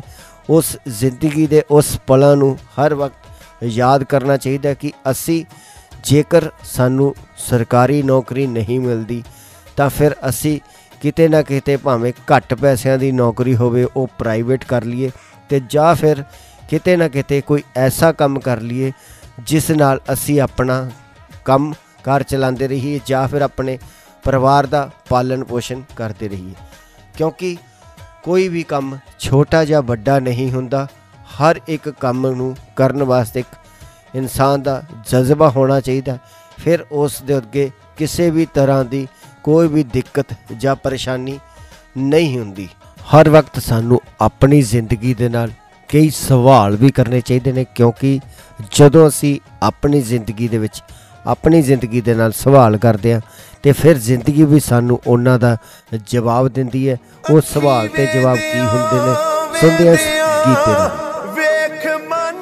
ਹਰ ਵਕਤ ਸਾਨੂੰ ਸਾਰਿਆਂ ਨੂੰ ਆਪਣੀ ਜ਼ਿੰਦਗੀ ਤੇ ਨਾਲ ਕੁਝ ਗੱਲਾਂ ਬਾਤਾਂ ਕਰਦੇ ਰਹਿਣਾ ਚਾਹੀਦਾ ਜਾਂ ਸਵਾਲ ਪੁੱਛਦੇ ਰਹਿਣਾ ਚਾਹੀਦਾ ਕਿਉਂਕਿ ਉਹਨਾਂ ਤੋਂ ਹੀ ਸਾਨੂੰ ਆਪਣੀ ਜ਼ਿੰਦਗੀ ਦੇ ਉਤਾਰ ਚੜਾਅ ਦੇ ਅਨੁਭਵਾਂ ਦਾ ਅਹਿਸਾਸ ਹੁੰਦਾ ਮੈਂ ਜਿਹੜੀ ਕਹਾਣੀ ਸੁਣਾਈ ਸੀ ਦੋਸਤਾਂ ਦੀ, ਉਹਦੇ ਵਿੱਚ ਇੱਕ ਬੰਦੇ ਨੇ ਤਾਂ ਆਪਣੀ ਡਿਗਰੀਆਂ ਤੋਂ ਬਾਅਦ ਸਰਕਾਰੀ ਨੌਕਰੀ ਦੀ ਭਾਲ ਕੀਤੀ ਤੇ ਦੂਸਰੇ ਨੇ ਆਪਣਾ ਇੱਕ ਕੰਮ ਕਰਕੇ ਉਸ ਕੰਮ ਤੋਂ ਹਰ ਰੋਜ਼ ਦੀ 5000 ਰੁਪਏ ਦਿਹਾੜੀ ਪਾਣ ਲੱਗ ਗਿਆ। ਹੁਣ ਤੁਸੀਂ ਹੀਰੋ ਕਿਸ ਨੂੰ ਕਹੋਗੇ? ਜ਼ਿੰਦਗੀ ਤੋਂ ਭਗੋੜੇ ਹੋਏ ਨੂੰ ਜਾਂ ਫਿਰ ਜ਼ਿੰਦਗੀ ਨੂੰ ਨਵੇਂ ਮਕਾਮ ਤੇ ਲਿਜਾਣ ਵਾਲੇ ਨੂੰ? ਜਿਨ੍ਹਾਂ ਨੂੰ ਜ਼ਿੰਦਗੀ ਫਾਲਤੂ ਲੱਗਦੀ ਹੈ ਨਾ, ਉਹ ਕਦੇ ਜਾ ਕੇ ਕਿਸੇ ਕੈਂਸਰ ਦੇ ਮਰੀਜ਼ ਨੂੰ ਮਿਲ ਕੇ ਦੇਖਿਓ ਤੇ ਜਾਂ ਫਿਰ ਉਸ ਬੰਦੇ ਕੋਲ ਜਾ ਕੇ ਦੇਖਿਓ ਜਿਹਦੇ ਦੋਨੇ ਗੁਰਦੇ ਫੇਲ ਹੋਏ ਹੋਣ ਕਿਉਂਕਿ ਉਹਨਾਂ ਸਾਰਿਆਂ ਨੂੰ ਜ਼ਿੰਦਗੀ ਹਰ ਵਕਤ ਬਲੈਕ ਹੋਲ ਵਾਂਗ ਦਿਖਦੀ ਹੈ, ਜੋ ਪਲ ਪਲ ਤੇ ਉਹਨਾਂ ਨੂੰ ਇੱਕ ਕਾਲੇ ਹਨੇਰੇ ਵਿੱਚ ਲਿਜਾਈ ਜਾ ਰਹੀ ਹੈ। ਤੇ ਉਹ ਜਿਹੜਾ ਉਹਨਾਂ ਦਾ ਬੋਝਲ ਸਰੀਰ ਹੁੰਦਾ, ਉਹ ਉਹਨਾਂ ਨੂੰ ਬਹੁਤ ਹੀ ਜ਼ਿਆਦਾ ਔਖਾ ਲੱਗਦਾ ਤੇ ਉਹ ਕਿਤੇ ਨਾ ਕਿਤੇ ਆਪਣੀ ਜ਼ਿੰਦਗੀ ਦੇ ਵਿੱਚ ਕੁਝ ਐਸੀ ਕਿਰਨ ਭਾਲਦੇ ਹੁੰਦੇ ਨੇ ਜਿਸ ਦੇ ਵਿੱਚ ਕੋਈ ਚਮਤਕਾਰ ਹੋ ਜੇ ਤੇ ਉਹ ਫਿਰ ਉਸ ਰੋਸ਼ਨੀ ਦੇ ਵਿੱਚ ਆ ਕੇ ਆਪਣੀ ਜ਼ਿੰਦਗੀ ਨੂੰ ਵਧੀਆ ਢੰਗ ਨਾਲ ਬਤੀਤ ਕਰ ਸਕਣ। ਕਹਿੰਦੇ ਜੇਕਰ ਕਦੇ ਜਦੋਂ ਅਸੀਂ ਸਫ਼ਰ ਕਰਦੇ ਆ ਨਾ, ਉਹ ਸਫ਼ਰ ਮੰਨ ਲਓ ਕਿ ਅਸੀਂ ਮੋਟਰਸਾਈਕਲ ਤੇ ਜਾ ਰਹੇ ਹਾਂ ਜਾਂ ਸਾਈਕਲ ਤੇ ਜਾ ਰਹੇ ਹਾਂ, ਉਸ ਦੇ ਉੱਤੇ ਜਾਂਦੇ ਹੋਏ ਕਈ ਵਾਰ ਸਾਡੀ ਅੱਖ ਦੇ ਵਿੱਚ ਕੁਝ ਕਚਰਾ ਪੈ ਜਾਂਦਾ ਹੈ। ਤਾਂ ਉਸ ਕਚਰੇ ਨੂੰ ਕੱਢਣ ਵਾਸਤੇ ਅਸੀਂ ਜਿੰਨੇ ਮਰਜ਼ੀ ਚਾਹੇ 100 ਦੀ ਸਪੀਡ ਤੇ ਜਾ ਰਹੇ ਹਾਂ, ਤਾਂ ਅਸੀਂ ਝਟਮਟ ਆਪਣੀ ਬਾਈਕ ਨੂੰ ਜਾਂ ਆਪਣੇ ਮੋਟਰਸਾਈਕਲ ਨੂੰ ਰੋਕ ਲੈਂਦੇ ਹਾਂ, ਕਿਉਂਕਿ ਉਸ ਰੜਕ ਨੂੰ ਅਸੀਂ ਬਰਦਾਸ਼ਤ ਨਹੀਂ ਕਰ ਸਕਦੇ ਤੇ ਉਸ ਕਚਰੇ ਨੂੰ ਕੱਢਣ ਵਾਸਤੇ ਅਸੀਂ ਉਸ ਵਕਤ ਸਹਾਰਾ ਲੈਂਦੇ ਹਾਂ, ਪਾਣੀ ਦੇ ਕੁਝ ਛਿੱਟਿਆਂ ਦਾ। ਜਦੋਂ ਉਹ ਛਿੱਟੇ ਅਸੀਂ ਅੱਖ ਵਿੱਚ ਮਾਰਦੇ ਹਾਂ ਤੇ ਉਸ ਦੇ ਨਾਲ ਸਾਡੀ ਅੱਖ ਸਾਫ਼ ਹੋ ਜਾਂਦੀ ਹੈ ਤੇ ਸਫ਼ਰ ਤੇ ਪੈਣ ਵਾਲੀ ਏ ਉਹ ਸਮਝਦਾਰੀ ਉਸ ਸਾਨੂੰ ਤੁਰੇ ਹੋਏ ਰਸਤਿਆਂ ਦੇ ਵਿੱਚੋਂ, ਅਕਲਮੰਦੀ ਦੇ ਲੰਬੇ ਪੈੜਿਆਂ ਵੱਲ ਲੈ ਜਾਂਦੀ ਹੈ ਤੇ ਕਿਉਂਕਿ ਜ਼ਿੰਦਗੀ ਵੀ ਇਸੇ ਤਰ੍ਹਾਂ ਹੀ ਹੈ, ਜੇਕਰ ਸਾਡੀ ਜ਼ਿੰਦਗੀ ਦੇ ਵਿੱਚ ਕਿਤੇ ਨਾ ਕਿਤੇ ਕੁਝ ਰੜਕ ਹੁੰਦੀ ਹੈ, ਤਾਂ ਉਸ ਰੜਕ ਨੂੰ ਕੱਢਣ ਵਾਸਤੇ ਵੀ ਸਾਨੂੰ ਹਰ ਵਕਤ ਆਪਣੀ ਸੋਚ ਜਿਹੜੀ ਹੈ, ਹਿੰਮਤ ਤੇ ਮਰਦਾ, ਮਦਦ ਏ ਖੁਦਾ, ਉਸ ਸੋਚ ਨੂੰ ਰੱਖਣਾ ਚਾਹੀਦਾ ਕਿਉਂਕਿ ਜੇਕਰ ਮੰਨ ਲਓ ਅਸੀਂ ਕਿਸੇ ਵਕਤ ਸੇ ਪਏ ਹਾਂ ਆਰਾਮ ਕਰਦੇ ਹਾਂ ਤੇ ਇੱਕ ਮੰਨ ਲਓ ਅਸੀਂ ਸੇਬ ਜਾਂ ਕੋਈ ਫਲ ਫਰੂਟ ਆਪਣੇ ਉੱਪਰ ਰੱਖ ਲੈਨੇ ਆ ਤੇ ਆਪਾਂ ਸੋਚੀ ਜਾਈਏ ਕਿ ਇਹ ਸੇਬ ਜਾਂ ਅੰਬ ਆਟੋਮੈਟਿਕਲੀ ਇਸ ਦੇ ਵਿੱਚੋਂ ਰਸ ਨਿਕਲ ਕੇ ਸਾਡੇ ਮੂੰਹ ਵਿੱਚ ਪੈ ਜਾਵੇ, ਤਾਂ ਇਹ ਸਾਡੀ ਗਲਤ ਫਹਿਮੀ ਹੈ, ਕਿਉਂਕਿ ਉਹ ਸਾਰੀ ਜ਼ਿੰਦਗੀ ਸਾਡੇ ਮੂੰਹ 'ਚ ਉਸ ਜੂਸ ਦੇ ਜਾਂ ਉਸ ਰਸ ਨੂੰ ਅਸੀਂ ਪ੍ਰਾਪਤ ਨਹੀਂ ਕਰ ਸਕਾਂਗੇ, ਜਦੋਂ ਤੱਕ ਅਸੀਂ ਉਸ ਨੂੰ ਆਪਣੇ ਹੱਥ ਹੱਥਾਂ ਦੇ ਨਾਲ ਉਸ ਨੂੰ ਕੱਟ ਕੇ ਖਾ ਨਹੀਂ ਲੈਂਦੇ, ਕਿਉਂਕਿ ਜੇਕਰ ਉਹ ਪਿਆਰ ਹੈ ਜਾਂ ਤਾਂ ਗਲ ਜਾਵੇਗਾ, ਨਹੀਂ ਤਾਂ ਕੁਝ ਸਮੇਂ ਬਾਅਦ ਉਹ ਉਸ ਤਾਕਤ ਦੀ ਥਾਂ ਤੇ ਸਾਨੂੰ ਜ਼ਿਆਦਾ ਤੋਂ ਜ਼ਿਆਦਾ ਬਦਬੂ ਦੇਵੇਗਾ। ਬਚਪਨ ਤੋਂ ਬਾਅਦ ਜੇਕਰ ਆਪਾਂ ਗੱਲ ਕਰੀਏ ਜੀ, ਤਾਂ ਉਹ ਸਮਾਂ ਆਂਦਾ ਹੈ, ਜਵਾਨੀ ਦਾ। ਜਵਾਨੀ ਦੇ ਵਿੱਚ ਅਸੀਂ ਆਪਣੇ ਨਾਲ ਜਿਹੜੇ ਸਾਡੇ ਸਕੇ ਸੰਬੰਧੀ ਯਾਰ ਦੋਸਤ ਹੁੰਦੇ ਨੇ ਉਹਨਾਂ ਨੂੰ ਅਸੀਂ ਬੜੇ ਹੀ ਚੇਤੇ ਕਰਦੇ ਹਾਂ। ਉਸ ਵਕਤ ਸਾਨੂੰ ਦੁਨੀਆ ਇੱਕ ਛੋਟੀ ਜੀ ਮੁੱਠੀ ਵਾਂਗ ਜਾਪਦੀ ਹੈ, ਕਿਉਂਕਿ ਜਵਾਨੀ ਦਾ ਜਿਹੜਾ ਜੋਸ਼ ਹੁੰਦਾ, ਉਹ ਬੜਾ ਹੀ ਵੱਖਰਾ ਹੁੰਦਾ। ਉਸ ਜੋਸ਼ ਦੇ ਵਿੱਚ ਫੁਰਤੀ ਵੀ ਬਹੁਤ ਜ਼ਿਆਦਾ ਹੁੰਦੀ ਹੈ ਤੇ ਉਸ ਜੋਸ਼ ਦੇ ਵਿੱਚ ਉਮੰਗ ਵੀ ਬਹੁਤ ਜ਼ਿਆਦਾ ਹੁੰਦੀ ਹੈ। ਤੇ ਜਦੋਂ ਉਸ ਜਵਾਨੀ ਦਾ ਸਮਾਂ ਹੁੰਦਾ ਤੇ ਅਸੀਂ ਉਸ ਸਮੇਂ ਦੇ ਵਿੱਚੋਂ ਆਪਣੀ ਜ਼ਿੰਦਗੀ ਨੂੰ ਕੱਢ ਰਹੇ ਹੁੰਨੇ ਆ ਤਾਂ ਫਿਰ ਸਾਨੂੰ ਦਿਨ, ਰਾਤ ਦੋਨੇ ਹੀ ਇੱਕੋ ਮਾਤਰਾ ਦੇ ਵਿੱਚ ਲੱਗਦੇ ਨੇ, ਕਿਉਂਕਿ ਸਾਨੂੰ ਜੇਕਰ ਦਿਨੇ ਬੈਠੇ ਆ ਤਾਂ ਸਾਨੂੰ ਐ ਲੱਗਦਾ ਕਿ ਰਾਤ ਬਹੁਤ ਜਲਦੀ ਹੋ ਗਈ ਤੇ ਜੇਕਰ ਰਾਤ ਨੂੰ ਹੁੰਨੇ ਤਾਂ ਸਾਨੂੰ ਲੱਗਦਾ ਵੀ ਦਿਨ ਬਹੁਤ ਜਲਦੀ ਹੋ ਗਿਆ, ਕਿਉਂਕਿ ਉਸ ਵਕਤ ਅਸੀਂ ਆਪਣੇ ਯਾਰਾਂ ਦੋਸਤਾਂ, ਮਿੱਤਰਾਂ ਦੇ ਨਾਲ ਹੁੰਨੇ ਆ ਉਹਨਾਂ ਦੇ ਨਾਲ ਜਦੋਂ ਅਸੀਂ ਆਪਣੀ ਜ਼ਿੰਦਗੀ ਦੀਆਂ ਗੱਲਾਂ ਬਾਤਾਂ ਸਾਂਝੀਆਂ ਕਰਦੇ ਹਾਂ ਤੇ ਜਾਂ ਫਿਰ ਉਹਨਾਂ ਦੇ ਨਾਲ ਮੁਲਾਕਾਤਾਂ ਕਰਦੇ ਹਾਂ, ਉਹ ਸਮਾਂ ਹਰ ਵਕਤ ਸਾਡੇ ਚੇਤੇ ਜਹਨ ਦੇ ਵਿੱਚ ਰਹਿੰਦਾ ਤੇ ਜਿਵੇਂ ਕਿ ਰੇਡੀਓ ਚੰਨ ਪਰਦੇਸੀ ਦੇ ਰਾਹੀਂ ਮੇਰੀ ਆਵਾਜ਼ ਵੀ ਕਈ ਮੇਰੇ ਦੋਸਤਾਂ ਮਿੱਤਰਾਂ ਕੋਲ ਜਾ ਰਹੀ ਹੋਊਗੀ, ਉਹਨਾਂ ਦੇ ਵੀ ਮੈਨੂੰ WhatsApp ਦੇ ਉੱਤੇ ਮੈਸੇਜ ਆਈ ਜਾਂਦੇ ਨੇ। ਰਾਣਾ ਜੀ ਬਹੁਤ ਹੀ ਵਧੀਆ ਲਿਖ ਰਹੇ ਨੇ ਵੀ ਪ੍ਰੋਗਰਾਮ ਬਹੁਤ ਵਧੀਆ ਚੱਲ ਰਿਹਾ ਤੇ ਅਸੀਂ ਸੁਣ ਰਹੇ ਹਾਂ। ਬਹੁਤ ਬਹੁਤ ਧੰਨਵਾਦ ਜੀ। ਮੋਗਾ ਤੋਂ ਰਾਣਾ ਜੀ ਲਿਖ ਰਹੇ ਨੇ ਤੇ ਉਸ ਤੋਂ ਬਾਅਦ ਸਰਵਨ ਸਿੰਘ ਜੀ ਨੇ ਵੀ ਬਹੁਤ ਵਧੀਆ ਵਿਸ਼ ਦਿੱਤੀਆਂ ਨੇ ਜੀ ਇਸ ਪ੍ਰੋਗਰਾਮ ਵਾਸਤੇ। ਤੇ ਰੇਡੀਓ ਚੰਨ ਪਰਦੇਸੀ ਤੇ ਮਾਧਿਅਮ ਰਹੇ ਅਸੀਂ ਸਾਰੇ ਹੀ ਸਰੋਤਿਆਂ ਦਾ ਬਹੁਤ ਬਹੁਤ ਧੰਨਵਾਦ ਕਰਦੇ ਹਾਂ ਕਿਉਂਕਿ ਜ਼ਿੰਦਗੀ ਜਿਹੜੀ ਹੈ ਹਰ ਵਕਤ ਕੁਝ ਨਾ ਕੁਝ ਸਾਨੂੰ ਸਿਖਾਉਂਦੀ ਹੈ। ਜ਼ਿੰਦਗੀ ਦੀ ਹਰ ਵਕਤ ਜਿਹੜੀ ਰੀਤ ਹੈ, ਉਹਦੇ ਵਿੱਚ ਕਦੇ ਦੁੱਖ, ਕਦੇ ਸੁੱਖ, ਹਰ ਵਕਤ ਸਾਡੇ ਨਾਲ ਸਾਂਝੇ ਰਹਿੰਦੇ ਨੇ। ਇਸ ਕਰਕੇ ਜ਼ਿੰਦਗੀ ਨੂੰ ਹਰ ਵਕਤ ਖੁਸ਼ੀਆਂ ਦੇ ਨਾਲ ਮਾਣੋ, ਕਿਉਂਕਿ ਦੁੱਖਾਂ ਨੂੰ ਵੀ ਅਸੀਂ ਜੇਕਰ ਖੁਸ਼ ਹੋ ਕੇ ਹੰਡਾਵਾਂਗੇ ਤਾਂ ਉਹ ਦਰਦ ਸਾਨੂੰ ਬਹੁਤ ਘੱਟ ਹੁੰਦਾ ਤੇ ਕਦੇ-ਕਦੇ ਉਸ ਤੋਂ ਬਾਅਦ ਸਾਨੂੰ ਜ਼ਿੰਦਗੀ ਦੇ ਵਿੱਚ ਬਹੁਤ ਹੀ ਜ਼ਿਆਦਾ ਸੌਖਾ ਜਿਹਾ ਮਹਿਸੂਸ ਹੁੰਦਾ ਕਿਉਂਕਿ ਜ਼ਿੰਦਗੀ ਹਰ ਵਕਤ ਇੱਕ ਸਬਰ ਜਾਂ ਇੱਕ ਸਬਕ ਦੇ ਕੇ ਜਾਂਦੀ ਹੈ। ਸੁਣਦੇ ਹਾਂ ਇੱਕ ਗੀਤ। ਜ਼ਿੰਦਗੀ ਦੇ ਵਿੱਚ ਕਹਿੰਦੇ ਨੇ, ਹਰ ਮੋੜ ਤੇ ਕਿਤੇ ਨਾ ਕਿਤੇ ਖੁਸ਼ੀ ਵੀ ਮਿਲਦੀ ਹੈ ਤੇ ਕਿਤੇ ਨਾ ਕਿਤੇ ਗਮ ਵੀ ਹੁੰਦੇ ਨੇ। ਕਿਤੇ ਕਿਤੇ ਹਾਰ ਵੀ ਹੁੰਦੀ ਹੈ ਤੇ ਕਿਤੇ ਨਾ ਕਿਤੇ ਜਿੱਤ ਵੀ ਹੁੰਦੀ ਹੈ।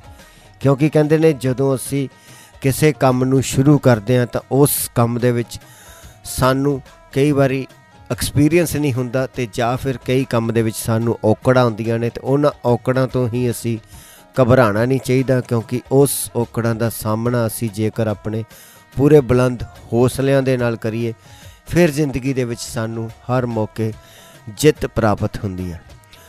ਇੱਕ ਗੱਲ ਯਾਦ ਆ ਰਹੀ ਹੈ ਜੀ, ਕਹਿੰਦੇ ਇੱਕ ਬੰਦਾ ਨਾ ਥਾਲੀ ਦੇ ਵਿੱਚ ਰੱਖ ਕੇ ਰੋਟੀ ਖਾਈ ਜਾ ਰਿਹਾ ਸੀ ਤੇ ਰੋਟੀ ਦੇ ਨਾਲ ਉਹਦੇ ਕੋਲੇ ਕੋਈ ਸਬਜ਼ੀ ਨਹੀਂ ਸੀ ਤੇ ਕਿਸੇ ਨੇ ਪੁੱਛਿਆ ਵੀ ਇਹ ਕੀ ਕਰ ਰਿਹਾ ਤਾਂ ਉਹ ਜਿਹੜਾ ਰੋਟੀ ਦੇ ਵਿੱਚ ਤੋੜ ਤੋੜ ਕੇ ਥਾਲੀ ਦੇ ਵਿੱਚ ਖਾਲੀ ਬੁਰਕੀਆਂ ਨੂੰ ਲਗਾ ਲਗਾ ਕੇ ਖਾ ਰਿਹਾ ਸੀ, ਕਿਉਂਕਿ ਉਹਦੇ ਕੋਲੇ ਸਬਜ਼ੀ ਉਸ ਨੂੰ ਨਸੀਬ ਨਾ ਹੋਈ। ਤੇ ਜਦੋਂ ਕਿਸੇ ਨੇ ਪੁੱਛਿਆ ਵੀ ਭਾਈ ਭਾਈ ਇਹ ਕੀ ਕਰ ਰਿਹਾ ਤਾਂ ਉਸ ਨੇ ਕਿਹਾ ਵੀ ਮੈਂ ਖਿਆਲਾਂ ਦੇ ਵਿੱਚ ਰੋਟੀ ਤਾਂ ਖਾ ਰਿਹਾ, ਪਰ ਮੈਨੂੰ ਐ ਲੱਗਦਾ ਵੀ ਮੈਂ ਅਚਾਰ ਨਾਲ ਖਾ ਰਿਹਾ। ਤਾਂ ਦੂਸਰੇ ਬੰਦੇ ਨੇ ਕਿਹਾ, ਭਰਾਵਾ, ਜੇਕਰ ਖਿਆਲਾਂ 'ਚ ਹੀ ਖਾਣੀ ਹੈ, ਫਿਰ ਕੋਈ ਸ਼ਾਹੀ ਪਨੀਰ ਲਗਾ ਕੇ ਤਾਂ ਖਾ, ਤੇ ਤੂੰ ਆਪਣੀ ਜ਼ਿੰਦਗੀ ਦੇ ਵਿੱਚ ਖਿਆਲਾਂ 'ਚ ਵੀ ਕੰਜੂਸੀ ਕਿਉਂ ਕਰੀ ਜਾਂਦਾ?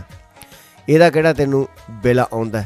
ਬੇਸ਼ੱਕ ਇੱਕ ਬੰਦੇ ਦੀ ਗੱਲ ਹੈ, ਪਰ ਬਹੁਤੇ ਲੋਕਾਂ ਤੇ ਢੁਕਦੀ ਹੈ, ਕਿਉਂਕਿ ਗੁੜ ਖਾਣ ਦੇ ਸ਼ੌਕੀਨ ਜਿਹੜੇ ਹੁੰਦੇ ਨੇ, ਉਹ ਸੁਪਨੇ 'ਚ ਵੀ ਗੁੜੀ ਆਉਂਦੇ ਨੇ ਤੇ ਵਰਫ਼ੀ ਦੇ ਨਹੀਂ। ਇਸ ਕਰਕੇ ਜ਼ਿੰਦਗੀ ਦੇ ਵਿੱਚ ਹਰ ਵਕਤ ਤੁਸੀਂ ਖੁਸ਼ ਰਹੋ, ਆਪਣੀ ਜ਼ਿੰਦਗੀ ਦੇ ਨਾਲ ਹਰ ਤਜਰਬਿਆਂ ਨੂੰ ਸਾਂਝਾ ਕਰਦੇ ਰਹੋ। ਰੇਡੀਓ ਚੰਨ ਪਰਦੇਸੀ ਦੇ ਮਾਧਿਅਮ ਰਾਹੀਂ ਨੰਬਰ ਹੈ ਜੀ 9888909139 ਜਾਂ ਫਿਰ ਤੁਸੀਂ ਜੁੜ ਸਕਦੇ ਹੋ ਸਾਡੇ ਨਾਲ ਸਕਾਈਪ ਆਈਡੀ ਦੇ ਥਰੂ ਵੀ ਤੇ ਉਸ ਦੇ ਉੱਤੇ ਵੀ ਤੁਸੀਂ ਸਾਨੂੰ ਕਾਲ ਕਰਕੇ ਜੁੜ ਸਕਦੇ ਹੋ। ਇੱਕ ਕਹਾਣੀ ਹੋਰ ਯਾਦ ਆਉਂਦੀ ਹੈ। ਉਹ ਮੈਨੂੰ ਨਾ ਕੁਝ ਸਮੇਂ ਪਹਿਲਾਂ ਦੀ ਕਹਾਣੀ ਹੈ ਤੇ ਮੈਨੂੰ ਜਿੱਥੇ ਤੱਕ ਆਈਡੀਆ ਉਹ ਜਾਪਾਨ ਦੇਸ਼ ਕੰਨੀ ਦੀ ਗੱਲਬਾਤ ਸੀਗੀ, ਉਹ ਮੈਂ ਉਸ ਸਮੇਂ ਨਿਊਜ਼ ਦੇ ਉੱਤੇ ਪੜ੍ਹੀ ਸੀ ਤੇ ਉੱਥੇ ਕੀ ਸੀਗੀ ਇੱਕ ਬਹੁਤ ਹੀ ਜ਼ਿਆਦਾ ਕਰੋੜਪਤੀ ਸੇਠ ਸੀਗਾ ਜਾਂ ਬਹੁਤ ਹੀ ਜ਼ਿਆਦਾ ਅਮੀਰ ਬੰਦਾ ਸੀ, ਜੋ ਕਹਿੰਦੇ ਸਿਰੇ ਦਾ ਹੀ ਕੰਜੂਸ ਸੀ। ਨੌਕਰ ਨੂੰ ਵੀ ਉਹ ਕਹਿੰਦਾ ਕਈ ਵਾਰੀ ਤਨਖਾਹ ਨਹੀਂ ਦਿੰਦਾ ਸੀ, ਦਵਾਂਗੇ ਦਵਾਂਗੇ ਕਹਕੇ ਆਪਾਂ ਕਿਹੜਾ ਉਹ ਕਰਦੇ ਆ ਮੁੱਕਰਦੇ ਆ ਪੈਸੇ ਬਹੁਤ ਨੇ, ਦਵਾਂਗੇ। ਤੇ ਇੱਥੋਂ ਤੱਕ ਕਿ ਉਹ ਆਪਣੀ ਸਿਹਤ ਦੇ ਉੱਤੇ ਵੀ ਧਿਆਨ ਨਹੀਂ ਰੱਖਦਾ ਸੀ। ਉਸ ਦੇ ਉੱਤੇ ਵੀ ਚੀਜ਼ਾਂ ਨੂੰ ਜੇਕਰ ਖਾਣਾ, ਬੜੀ ਕੰਜੂਸੀ ਦੇ ਨਾਲ ਖਾਣਾ, ਤੇ ਬਹੁਤ ਹੀ ਘੁੱਟ-ਘੁੱਟ ਕੇ ਆਪਣੀ ਜ਼ਿੰਦਗੀ ਜੇਕਰ ਬਿਮਾਰ ਹੋ ਜਾਣਾ, ਉਹਦਾ ਵੀ ਇਲਾਜ ਨਾ ਕਰਾਣਾ ਉਸ ਸਮੇਂ ਵੀ ਆਪਣੇ ਹੱਥ ਨੂੰ ਘੁੱਟ ਕੇ ਰੱਖਣਾ। ਤੇ ਇਹ ਉਸ ਤੋਂ ਬਾਅਦ ਕੀ ਹੋਇਆ ਜੀ? ਉਹ ਸੇਠ ਦਾ ਹੋ ਗਿਆ ਰਾਮ ਨਾਮ ਸਤ। ਤੇ ਉਸ ਦੀ ਇੱਕ ਜਿਹੜੇ ਘਰ ਵਾਲੀ ਸੀ, ਉਹ ਬਹੁਤ ਹੀ ਜ਼ਿਆਦਾ ਖੂਬਸੂਰਤ ਸੀ ਤੇ ਉਸ ਨੇ ਹੁਣ ਕੀ ਕਰਿਆ, ਉਸ ਦਾ ਜਿਹੜਾ ਉਹ ਨੌਕਰ ਸੀ, ਉਹ ਵੀ ਬਹੁਤ ਖੂਬਸੂਰਤ ਸੀ ਤੇ ਉਸ ਘਰ ਵਾਲੀ ਨੇ ਉਸ ਨੌਕਰ ਦੇ ਨਾਲ ਵਿਆਹ ਕਰਵਾ ਲਿਆ ਤੇ ਉਸ ਤੋਂ ਬਾਅਦ ਜਿਹੜਾ ਉਹ ਨੌਕਰ ਸੀ, ਉਹ ਹਰ ਵਕਤ ਉਸ ਪਰਮਾਤਮਾ ਦਾ ਸ਼ੁਕਰਗੁਜ਼ਾਰ ਕਰ ਰਿਹਾ ਸੀ ਕਿ ਵਾਹ ਓਏ ਰੱਬਾ, ਤੂੰ ਕੈਸੀ ਟੋਪੀ ਖਮਾਈ ਕਿ ਮੇਰਾ ਤਾਂ ਸਾਰਾ ਹੀ ਜ਼ਿੰਦਗੀ ਪਲਟ ਕੇ ਰੱਖਤੀ। ਮੈਂ ਸਾਰੀ ਜ਼ਿੰਦਗੀ ਇਹ ਸੋਚਦਾ ਰਿਹਾ ਕਿ ਮੈਂ ਸੇਠ ਦੀ ਨੌਕਰੀ ਕਰਦਾ, ਪਰ ਮੈਨੂੰ ਅੱਜ ਸਮਝ ਆਈ ਕਿ ਮੈਂ ਤਾਂ ਸੇਠ ਦੀ ਨੌਕਰੀ ਨਹੀਂ ਕਰ ਰਿਹਾ ਸੀ, ਪਰ ਸੇਠ ਮੇਰੀ ਨੌਕਰੀ ਜ਼ਰੂਰ ਕਰ ਰਿਹਾ ਸੀ ਜਿਸ ਨੂੰ ਨੌਕਰੀ ਦੇ ਵਿੱਚ ਸਿਰਫ ਪੈਸੇ ਜੋੜਨ ਨੂੰ ਕਿਹਾ ਗਿਆ ਸੀ, ਤੇ ਉਹ ਪੈਸੇ ਜੋੜਦਾ ਜੋੜਦਾ ਹੀ ਮਰ ਗਿਆ, ਪਰ ਉਹ ਪੈਸੇ ਅੱਜ ਉਸ ਕਿਸਮਤ ਨੇ ਮੈਨੂੰ ਦੇ ਦਿੱਤੇ, ਕਿਉਂਕਿ ਜ਼ਿੰਦਗੀ ਦੇ ਵਿੱਚ ਕਦੇ ਵੀ ਤੁਸੀਂ ਕੰਜੂਸੀ ਨਾ ਕਰੋ। ਹਰ ਵਕਤ ਆਪਣੀ ਜ਼ਿੰਦਗੀ ਨੂੰ, ਆਪਣੇ ਪੈਸਿਆਂ ਨੂੰ ਆਪਣੀ ਜ਼ਿੰਦਗੀ ਦੇ ਉੱਤੇ ਜ਼ਰੂਰ ਵਰਤੋ, ਕਿਉਂਕਿ ਜਦੋਂ ਤੱਕ ਤੁਹਾਡੀ ਜ਼ਿੰਦਗੀ ਸਲਾਮਤ ਹੈ, ਉਦੋਂ ਤੱਕ ਹੀ ਪੈਸੇ ਸਲਾਮਤ ਨੇ। ਜ਼ਿੰਦਗੀ ਦੇ ਵਿੱਚ, ਜਵਾਨੀ ਦੇ ਵਿੱਚ ਸਮੇਂ ਤੋਂ ਬਾਅਦ ਪੈਣ ਤੋਂ ਕਿਤੇ ਨਾ ਕਿਤੇ ਅਕਸਰ ਕਿਸੇ ਨਾ ਕਿਸੇ ਵਿਅਕਤੀ ਨੂੰ ਕਿਸੇ ਨਾਲ ਪਿਆਰ ਜ਼ਰੂਰ ਹੋ ਜਾਂਦਾ ਫਿਰ ਜਦੋਂ ਪਿਆਰ ਹੋ ਜਾਂਦਾ ਫਿਰ ਉਸ ਪਿਆਰ ਨੂੰ ਪੂਰੀ ਜ਼ਿੰਦਗੀ ਉਹ ਆਪਣੇ ਨਾਲ ਵਾਅਦੇ ਕਸਮਾਂ ਖਾ ਕੇ ਨਿਭਾਉਣ ਦੀ ਕੋਸ਼ਿਸ਼ ਕਰਦਾ ਤੇ ਉਹ ਪਿਆਰ ਕਈਆਂ ਦਾ ਸਿਰੇ ਵੀ ਚੜ ਜਾਂਦਾ ਤੇ ਕਈਆਂ ਦਾ ਰਹਿ ਵੀ ਜਾਂਦਾ ਤੇ ਜਿਨ੍ਹਾਂ ਦਾ ਰਹਿ ਜਾਂਦਾ ਫਿਰ ਕਿਤੇ ਨਾ ਕਿਤੇ ਉਹ ਫਿਰ ਕਿਸੇ ਤਰੀਕੇ ਨਾਲ ਉਸ ਨੂੰ ਯਾਦ ਜ਼ਰੂਰ ਕਰਦੇ ਨੇ, ਸੁਣਦੇ ਆ ਇਸ ਬਿਲਕੁਲ ਜੀ, ਕਹਿੰਦੇ ਪਿਆਰ ਦੀ ਦੁਨੀਆ ਵੀ ਆਪਣੀ ਦੁਨੀਆ ਹੁੰਦੀ ਹੈ, ਉਹ ਦੁਨੀਆ ਐਸੀ ਦੁਨੀਆ ਹੁੰਦੀ ਹੈ ਕਿ ਉਸ ਦੇ ਵਿੱਚ ਬੰਦਾ ਆਪਣੇ ਪਿਆਰ ਨੂੰ ਯਾਦ ਹਰ ਵਕਤ ਪੂਰੀ ਜ਼ਿੰਦਗੀ ਕਰਦਾ ਰਹਿੰਦਾ ਹੈ। ਤੇ ਜਦੋਂ ਅਸੀਂ ਆਪਣੇ ਗੱਲਾਂ ਬਾਤਾਂ ਕਰਦੇ ਆ ਜਾਂ ਆਪਣੇ ਪਿਛੋਕੜ ਦੀ ਗੱਲਬਾਤ ਕਰਦੇ ਆ ਤਾਂ ਉਹਦੇ ਵਿੱਚ ਸਾਡੀ ਜ਼ਿੰਦਗੀ ਦਾ ਸਭ ਤੋਂ ਅਹਿਮ ਹਿੱਸਾ ਹੁੰਦਾ ਜੀ, ਸਾਡੇ ਪਿੰਡ, ਸਾਡੇ ਕਿਸਾਨ ਤੇ ਸਾਡੀ ਖੇਤੀਬਾੜੀ। ਤੇ ਸਾਡੇ ਰੋਜ਼ਗਾਰ। ਬਚਪਨ ਦੇ ਵਿੱਚ ਕੀ ਹੁੰਦਾ ਸੀ? ਅਸੀਂ ਅਕਸਰ ਹੀ ਆਪਣੇ ਪਿੰਡਾਂ ਦੇ ਵਿੱਚ ਜਾਂਦੇ, ਖੇਤਾਂ ਦੇ ਵਿੱਚ ਜਾਂਦੇ ਤੇ ਜਿਹੜਾ ਵਾਹਣ ਦੇ ਵਿੱਚ ਪਾਣੀ ਖੜਾ ਹੁੰਦਾ ਸੀ ਨਾ, ਉਹ ਕਹਿੰਦੇ ਸਵਾ ਮਨ ਜੇ ਪਾਣੀ ਖੜਾ ਤਾਂ ਉਹ ਬਹੁਤ ਹੀ ਜ਼ਿਆਦਾ ਸ਼ੁੱਧ ਹੁੰਦਾ ਸੀ ਪੀਣ ਯੋਗ ਹੁੰਦਾ ਸੀ। ਉਸ ਪਾਣੀ ਨੂੰ ਅਸੀਂ ਉਸ ਖਾਲ ਦੇ ਵਿੱਚੋਂ ਵੀ ਪੀ ਲੈਂਦੇ ਸੀ ਤੇ ਉਸ ਤੋਂ ਬਾਅਦ ਜੇ ਅੱਜ ਦੀ ਗੱਲ ਕਰੀਏ, ਅੱਜ ਸਾਨੂੰ ਆਪਣੀ ਜ਼ਿੰਦਗੀ ਦੇ ਵਿੱਚ ਪਾਣੀ ਹੀ ਸਵੱਛ ਨਹੀਂ ਮਿਲਦਾ, ਜਾਂ ਕਹੀਏ ਪਾਣੀ ਹੀ ਸ਼ੁੱਧ ਨਹੀਂ ਮਿਲਦਾ। ਕਿਉਂਕਿ ਅੱਜ ਸਾਡੇ ਜਿਹੜੇ ਕੰਮਕਾਰ ਨੇ, ਉਹ ਇੰਨੇ ਜ਼ਿਆਦਾ ਕੈਮੀਕਲ ਹੋ ਚੁੱਕੇ ਨੇ, ਉਸ ਫੈਕਟਰੀਆਂ ਦਾ ਕੈਮੀਕਲ ਦਾ ਜਿਹੜਾ ਪਾਣੀ ਹੈ, ਉਹ ਸਾਡੀਆਂ ਨਹਿਰਾਂ ਜਾਂ ਤਲਾਵਾਂ ਦੇ ਵਿੱਚ ਰੋੜਿਆ ਜਾ ਰਿਹਾ, ਜਿਸ ਦੇ ਕਾਰਨ ਪਾਣੀ ਬਹੁਤ ਹੀ ਜ਼ਿਆਦਾ ਖਰਾਬ ਹੁੰਦਾ ਜਾਂਦਾ ਇਸ ਕਰਕੇ ਉਸ ਪਾਣੀ ਨੂੰ ਪੀਣ ਵਾਸਤੇ ਵੀ ਪਹਿਲਾਂ ਸਾਨੂੰ ਪਾਣੀ ਨੂੰ ਸ਼ੁੱਧ ਕਰਨਾ ਪੈਂਦਾ, ਫਿਰ ਕਿਤੇ ਅਸੀਂ ਜਾ ਕੇ ਉਸ ਪਾਣੀ ਨੂੰ ਪੀਂਦੇ ਆ ਪਰ ਜਦੋਂ ਕਹਿੰਦੇ ਬਚਪਨ ਦੇ ਵਿੱਚ ਨਲਕੇ ਲੱਗੇ ਹੁੰਦੇ ਸੀ, ਉਹਨਾਂ ਨਲਕਿਆਂ ਨੂੰ ਗੇੜਦੇ ਤੇ ਉਸ ਨਲਕੇ ਤੋਂ ਪਾਣੀ ਅਸੀਂ ਪੀਂਦੇ ਤਾਂ ਉਹ ਬੜਾ ਹੀ ਨਜ਼ਾਰਾ ਆਉਂਦਾ ਸੀ।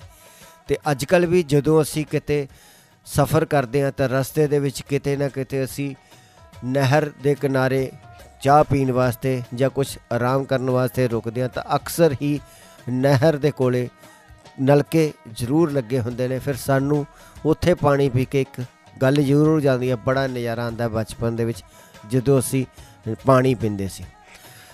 ਕਿਉਂਕਿ ਗੱਲ ਇੱਕ ਯਾਦ ਜ਼ਰੂਰ ਰੱਖਿਓ ਕਿਉਂਕਿ ਭਗਤ ਸਿੰਘ, ਰਾਜਗੁਰੂ, ਸੁਖਦੇਵ, ਉਹ ਜਿਨ੍ਹਾਂ ਨੇ ਸਾਡੇ ਵਾਸਤੇ ਕੁਰਬਾਨੀਆਂ ਦਿੱਤੀਆਂ, ਉਹਨਾਂ ਨੂੰ ਵੀ ਚਾਹ ਸੀਗਾ ਆਪਣੀ ਜ਼ਿੰਦਗੀ ਜਿਉਣ ਦਾ, ਪਰ ਉਹਨਾਂ ਨੇ ਸਾਡੀ ਜ਼ਿੰਦਗੀ ਨੂੰ ਸੁਖਾਲਾ ਕਰਨ ਵਾਸਤੇ ਆਪਣੀ ਜ਼ਿੰਦਗੀ ਦਾ ਦਾ ਲਗਾਇਆ।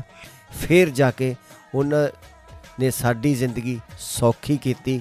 ਉਹਨਾਂ ਦੀ ਜ਼ਿੰਦਗੀ ਨੂੰ, ਉਹਨਾਂ ਦੇ ਨਾਵਾਂ ਨੂੰ ਰੇਡੀਓ ਚੈਨਲ ਪਰਦੇਸੀ ਤੇ ਸਾਰੇ ਸਰੋਤਿਆਂ ਵੱਲੋਂ ਸੀ ਸਲੂਟ ਕਰਦੇ ਹਾਂ, ਕਿਉਂਕਿ ਉਹਨਾਂ ਦੀ ਬਦੌਲਤ ਹੀ ਅਸੀਂ ਅੱਜ ਇੱਕ ਆਜ਼ਾਦ ਮੁਲਕ ਦੇ ਵਿੱਚ ਰਹਿ ਪਾ ਰਹੇ ਹਾਂ।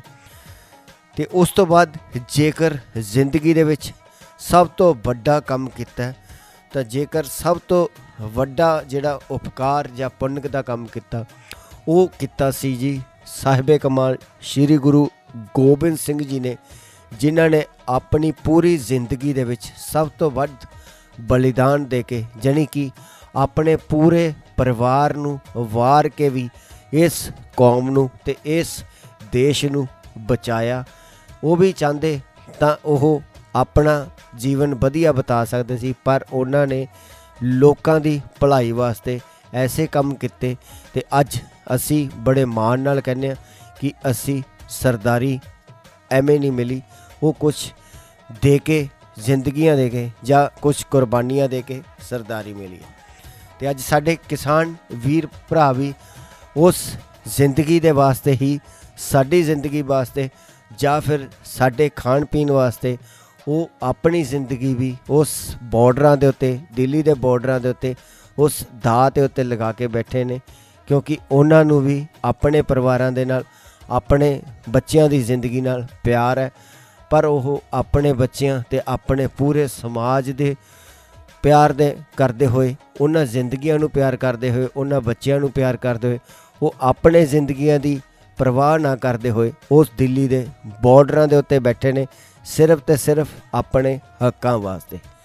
ਤੇ ਉਹ ਹੱਕ ਉਹ ਲੈ ਕੇ ਹਟਣਗੇ ਜੀ, ਕਿਉਂਕਿ ਉਹਨਾਂ ਦੇ ਪਿੱਛੇ ਹਰ ਇੱਕ ਵੱਲੋਂ ਦੁਆ ਕੀਤੀ ਜਾਂਦੀ ਹੈ ਤੇ ਉਹਨਾਂ ਵਾਸਤੇ ਇੱਕ ਅਰਦਾਸ ਕੀਤੀ ਜਾਂਦੀ ਹੈ।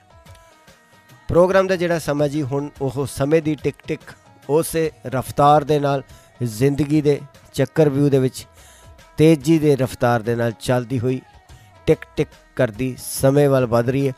ਤੇ ਜੇਕਰ ਤੁਸੀਂ ਵੀ ਕਿਸੇ ਆਪਣੇ ਪ੍ਰੋਗਰਾਮ ਦੀ ਐਡਵਰਟਾਈਜ਼ਮੈਂਟ ਕਰਨਾ ਚਾਹੁੰਦੇ ਹੋ, ਤਾਂ ਉਸ ਵਾਸਤੇ ਨੰਬਰ ਨੇ ਜੀ ਸਰਵਨ ਟਿਵਾਣਾ ਜੀ ਦਾ 2196704579 ਤੇ ਨਾਲ ਹੀ ਤੁਸੀਂ ਗੱਲਬਾਤ ਕਰ ਸਕਦੇ ਹੋ ਦਰਸ਼ਨ ਸਿੰਘ ਬਰਸਾਓ ਜੀ ਨਾਲ 8155574991 ਇਹਨਾਂ ਨੰਬਰਾਂ ਤੇ ਰਾਹੀਂ ਤੁਸੀਂ ਗੱਲਬਾਤ ਕਰਕੇ ਆਪਣੇ ਕਿਸੇ ਵੀ ਕੰਮਕਾਰ ਦੀ ਐਡਵਰਟਾਈਜ਼ਮੈਂਟ ਰੇਡੀਓ ਚੈਨਲ ਪਰਦੇਸੀ ਦੇ ਕਿਸੇ ਵੀ ਪ੍ਰੋਗਰਾਮ ਦੇ ਵਿੱਚ ਕਰ ਸਕਦੇ ਹੋ। ਤੇ ਹੁਣ ਤੁਸੀਂ ਆਪਣੇ ਦੋਸਤ ਤੇ ਹੋਸਟ ਗੁਰਜੀਤ ਸਿੰਘ ਨੂੰ ਦਿਓ ਇਜਾਜ਼ਤ। ਜਿੱਥੇ ਹੋ ਖੁਸ਼ ਰਹੋ, ਆਪਣਿਆਂ ਦੇ ਨਾਲ ਰਹੋ, ਆਪਣੀ ਜ਼ਿੰਦਗੀ ਹਰ ਵਕਤ ਖੁਸ਼ੀਆਂ ਖੇੜਿਆਂ ਦੇ ਵਿੱਚ ਮਾਣੋ। ਜ਼ਿੰਦਗੀ ਜ਼ਿੰਦਾਬਾਦ, ਰੱਬ ਰਾਖਾ।